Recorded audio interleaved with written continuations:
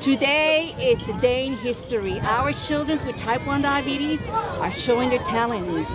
They're showing us that they can do billion things way and beyond, and their diabetes will never hold them down. It is not an obstacle for them. They are truly shine stars.